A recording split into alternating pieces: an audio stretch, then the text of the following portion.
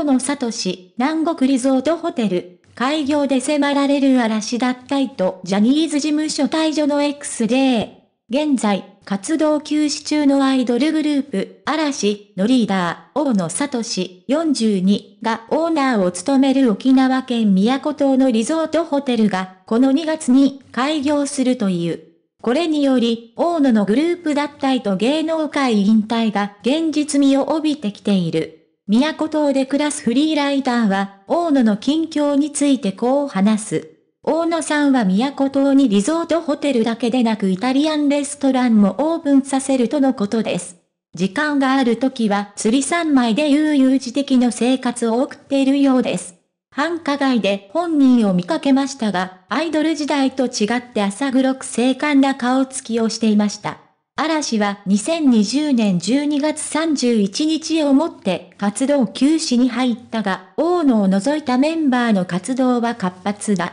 松本潤39は NHK 大河ドラマ、どうする家康に主演。桜井翔40は報道番組、ニュースゼロ、日本テレビ系でのキャスター業に加えて、1月期ドラマ、大病院選挙、日本テレビ系、3月公開の映画、ネメシス黄金螺旋の謎でも主演を務める。二宮和也39もドラマに映画と多くの作品に出演し、相葉正樹40もドラマバラエティに引っ張りだこです。ただ一人芸能活動を休止している大野は、京都小旅行や千葉のマザー牧場デートといった近況が週刊誌で伝えられる程度で、副業が今のメインの仕事になっているようです。芸能ライター。大野がレジャー会社を設立したと報じられたのは、16年4月。同社が沖縄県宮古島の海岸一角に1200坪の土地を購入。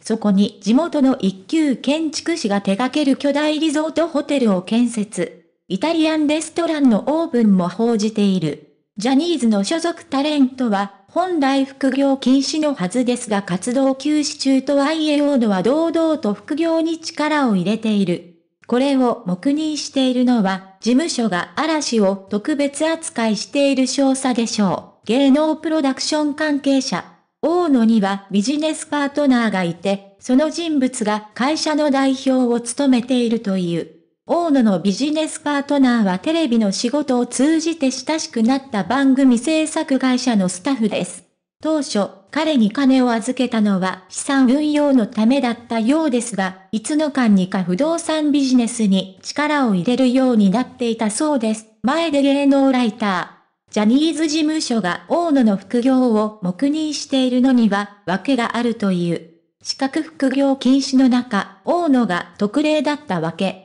運営する嵐のファンクラブの莫大な売り上げと1日も早いグループの活動再開が理由だと言われています。女性週刊誌がビジネスパートナーの気な臭さを報じていますが、これは大野を復帰させるためにジャニーズに近い関係者が情報をリークしたのではと言われています。前で芸能プロダクション関係者。しかし、大野を芸能活動再開からさらに一層遠ざける理由となったのが、滝沢秀明氏40のジャニーズ事務所電撃退社だという。活動休止前から大野は芸能界に戻るつもりはないと言っていたようですが、昨年大野にとってはジャニーズ JR 黄金期を共に過ごし、後輩に当たる者の尊敬していた滝沢氏が突然、ジャニーズを退場したことで、事務所に戻る気持ちは失せているようです。前で芸能ライター。大野のリゾートホテルがオープンすれば、ジャニーズは黙認を続けられないという。